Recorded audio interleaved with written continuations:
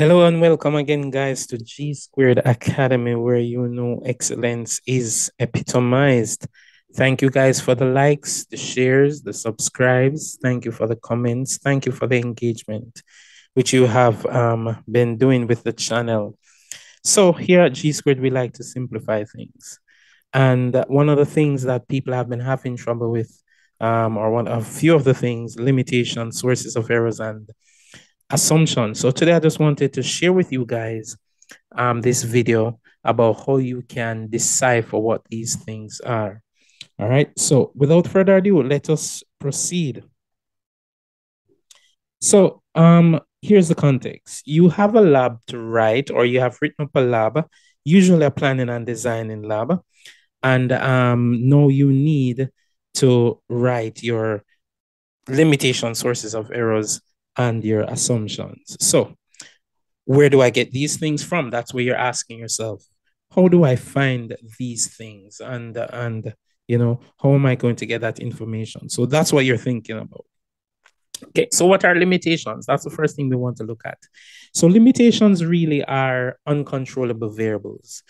They and of course variables are things which affect your experiment, right? But these are the ones which you really cannot control um, to some extent. There's nothing you can do about them, but they will still affect your experiment. So where can we find these things which are uncontrollable? You can find these things in your in, in your instruments. You can have faulty electronics in your instrument which you don't know anything about. So because you don't know about it, you can't fix the problem. It therefore becomes a limitation. Um, in your materials, materials have certain purity, especially in chemistry when we're looking at um, certain um, titrations when you need high purity substances or you're doing other reactions where it needs to be high purity, you really can't change the purity of your substance. Um, it will be to some degree impure. And so therefore that becomes a limiting um, reage or limiting factor in your situation. Then there are intrinsic things, things with yourself. For example, I am colorblind. So, you know, that may affect my um, my chemistry when I'm looking at colors and those sort of things. Reaction time is another thing. Yes, you can work on your reaction time over time um, by doing games and by doing things, but for the most part, in that given setting, your reaction time is set, so to speak. With practice, it becomes better. Um, but I mean, if it is that is a one-off situation, then your reaction time may affect you, and you really can't do anything about that at that point in time. If, for example, someone has asthma, um, or some other respiratory ailment. Um, and they're doing a respiratory lab where you're checking breathing rate and those things. They're definitely limited by that. You can't say, okay, you know what? Don't have asthma tomorrow because we're going to be doing a respiratory lab. And so, therefore, that's going to limit it. No, it doesn't really work like that.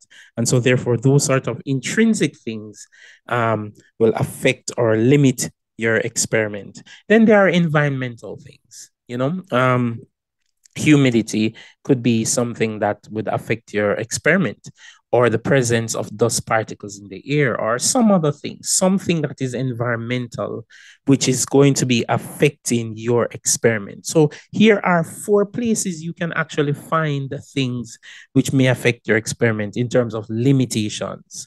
So when you're doing your experiment, you need to look, um, is there something that could be wrong with the instrument? Is there something with the materials that could be an issue? Is there something that is with me that could be an issue that's limiting the results I'm getting here? Or is there something in the environment? All right. And then now we can press on to our sources of errors. So, what are sources of errors? Um, to say, first of all, in some jurisdictions, we consider sources of errors limitations.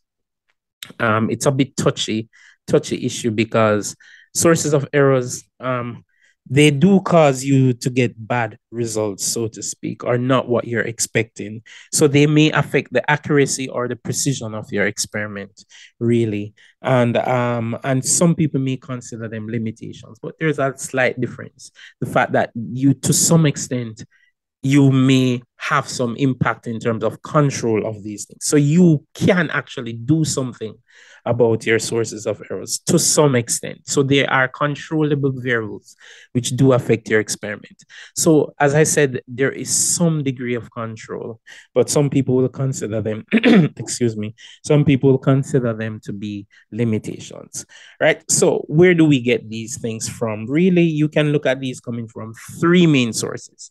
There are other things you can look at, but let's just consider these three main sources in this video your instrument again. Remember, in the first with the limitations, we did look at instruments, instrumentation. But here you have in your instrument, you have things like faulty calibration, um, not not uh, the best test conditions for the instrument. So you are working with an instrument and it's not under the best test conditions, right? And it's not the best conditions for use. In other words, that it needs to be fixed in some way so that it can operate optimally.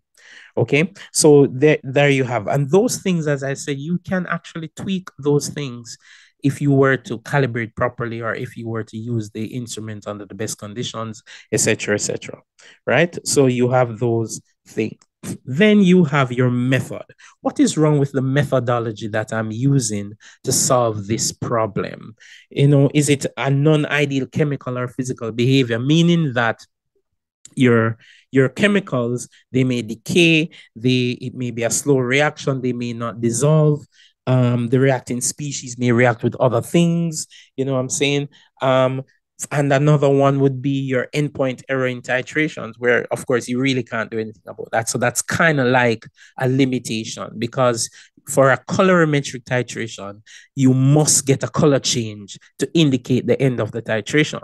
But that color change comes after you have added more than the equivalent amount, stoichiometric amount, stoichiometric amounts of um, your reactants or your titrant.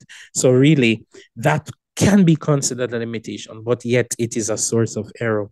So these are the things that we're talking about. You know, your method, in terms of your method, um, is it reacting with something else? Is it a slow reaction, etc., etc. And then you have personal um, situations or personal errors. Then, no, I've always said that your sources of error should not be an indictment to you as an experimenter.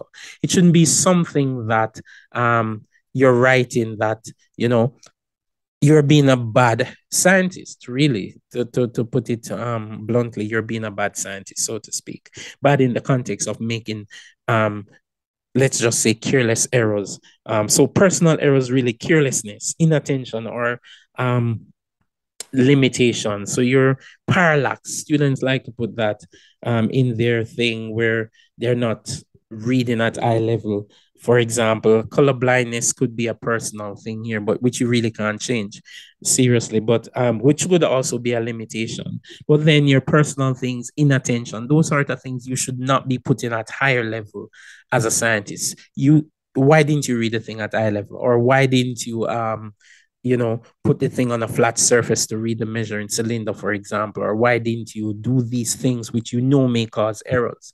So therefore, these are things which you should be able to fix, so to speak, which is why they are sources of errors really are not limitations. Okay, so I, I'm trusting you guys are getting this bit so far.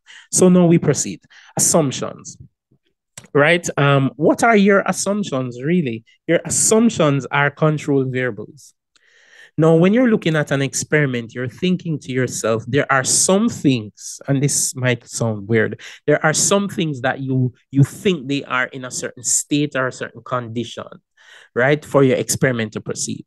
When you're doing an experiment, you're usually trying to, and if you are doing the thing properly, um, systematic, really, you are really looking at one variable and how that one variable affects one other variable. If you try to do too many things, of course, if you try to do two things, two things, then you're going to end up with problems because you're not sure in what is causing what. And so that is why you do one thing. How is it that I'm changing the temperature and how it affects the rate of the reaction. If you change temperature and concentration, you're not going to know which one is affecting the rate of the reaction in certain way. So you need to change one at a time. So you have the two things which you're looking at cause and effect. Then all other variables, and variables, of course, are things which affect your experiment.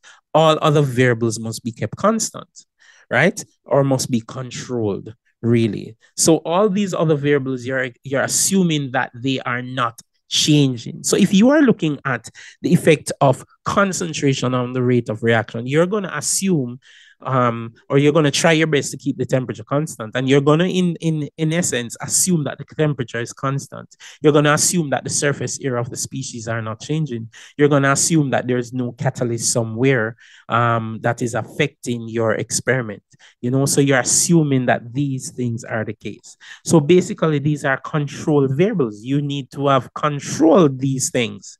And so therefore they become assumptions. Okay? Um you must measure the effect of one variable on another. And we just went through all of that stuff. And all of the variables must be cons- constant, or you must you assume that those variables um, you keep constant. They are in the state that you assume they are in. So your assumption and your limitation cannot be the same thing um, in the experiment. So if you assume that um, or if a limitation is temperature, then it can't be an assumption because it's already limiting it, which suggests that it is actually changing in some aspect. And so therefore, the reason if it was constant, it may not be affecting it or because it's constant. But because it's changing, then you know for sure that it can't be uh, an assumption because assumption is supposed to be controlled. All right. So there you have it, guys and how you determine your assumptions. Just remember that they are controlled variables. And thank you guys for watching. I trust that these videos will be helpful to you in writing up your labs. I know that getting limitations and sources of errors assumptions are difficult things um, in experiments, but I'm hoping that this will help you and that you will do well in your labs. Thank you guys for watching. And just to note that we will be doing some lives soon. So watch out for those live sessions um, where we'll be going through some difficult content for you guys. So watch out for those upcoming live sessions. And thank you for watching. Please like, share, and subscribe to the channel G Squared Academy, where you know excellence is, as usual, epitomize. All the best.